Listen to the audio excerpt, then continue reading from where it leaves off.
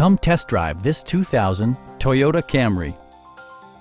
This four-door, five-passenger sedan provides exceptional value. It features an automatic transmission, front-wheel drive, and a 2.2-liter four-cylinder engine.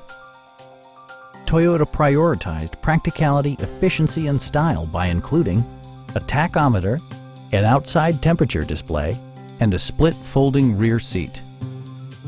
Enjoy your favorite music via the stereo system, which includes a CD player with AM FM radio, a cassette player, and four well-positioned speakers. We have a skilled and knowledgeable sales staff with many years of experience satisfying our customers' needs. We are here to help you